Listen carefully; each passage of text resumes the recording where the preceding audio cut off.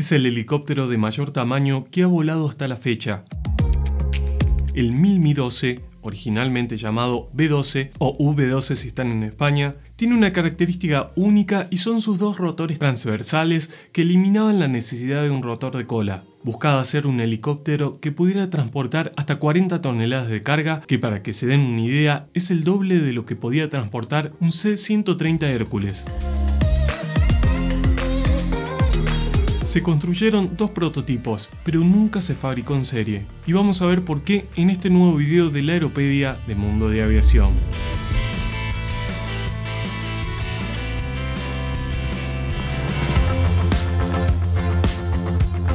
Los estudios de diseño para un helicóptero gigante se iniciaron en la oficina de diseño 1000 OKB en 1959, ya que el gobierno le pidió a este fabricante un helicóptero capaz de cargar de 20 a 25 toneladas con dimensiones de bodega similares al Antonov AN-22, destinado a levantar elementos importantes de material de combate, sobre todo misiles balísticos intercontinentales.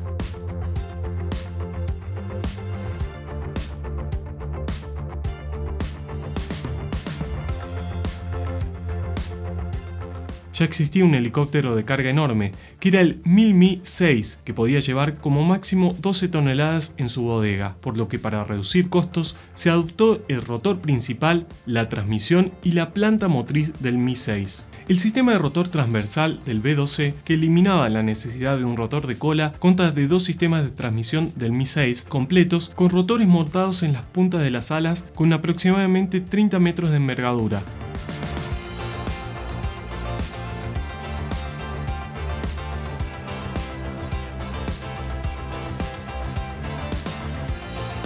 Aunque Mill lo utilizó por primera vez, el sistema transversal había sido utilizado por varios de los primeros helicópteros, incluidos el Focke-Wulf FW-61, el Focke Achilles FA-223 Drache o el Camo K-22 Vinto Krill.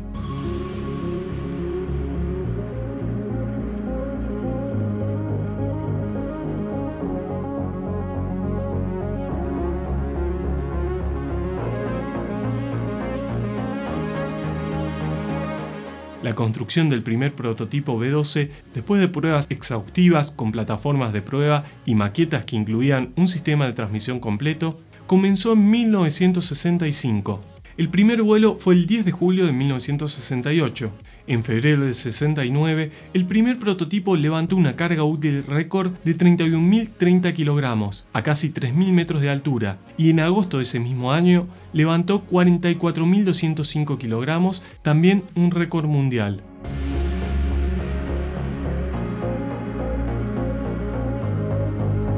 Me parece muy curioso el tamaño de alas rotativas comparándolo con un Boeing 737-200 o un C-130 Hércules. El Mi-12 es bastante más grande.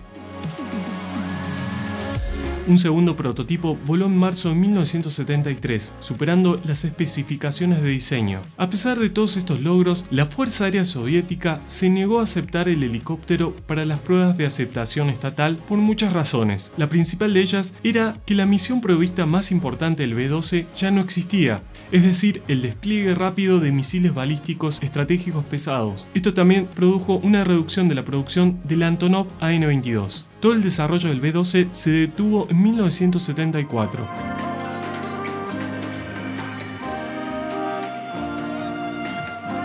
El piloto y el copiloto se sentaban en una cabina de vuelo inferior con una amplia extensión de ventanas para brindar una excelente visibilidad. Y aparte del piloto y copiloto, también aquí estaba el ingeniero de vuelo. En la cabina superior se alojaba el operador de radio y el ingeniero de la cabina superior.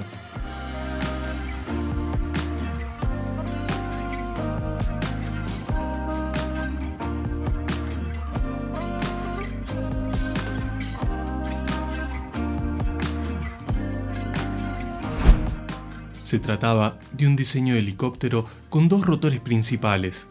Tenía un peso máximo al despegue de 105 toneladas y tenía un alcance de 1000 kilómetros con los depósitos de combustible internos.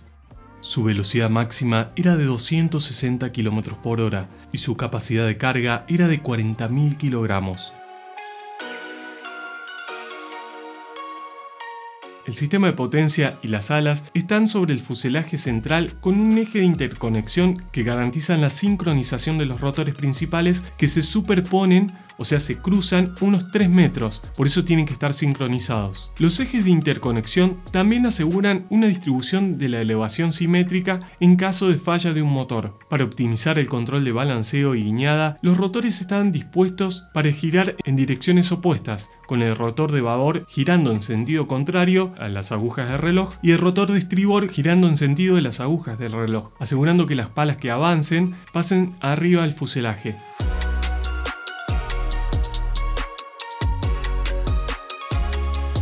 Cada unidad de potencia consta con dos motores turboeje Soloviev D25, los motores del 1000 Mi-6. Cada uno de estos impulsaba los rotores de 5 palas de 35 metros de diámetro y su eje se sincronizaba de punta a punta dentro del ala. El control de balanceo se realizaba mediante el cambio de paso colectivo diferencial en los rotores izquierdo y derecho. La guiñada en vuelo estacionario o a bajas velocidades se lograba inclinando los discos del motor uno hacia adelante y el otro hacia atrás de manera diferencial según la dirección de la guiñada requerida. Los grandes elevadores en el plano de cola ayudaban a controlar la actitud del fuselaje y reaccionan a los momentos de cabeceo del ala y la variación en el ángulo del disco de rotor.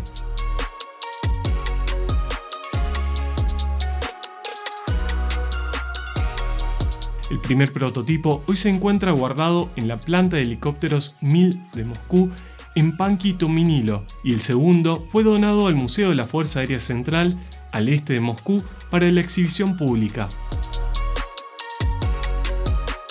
Espero que les haya gustado. Hasta un nuevo video de la Aeropedia de Mundo de Aviación.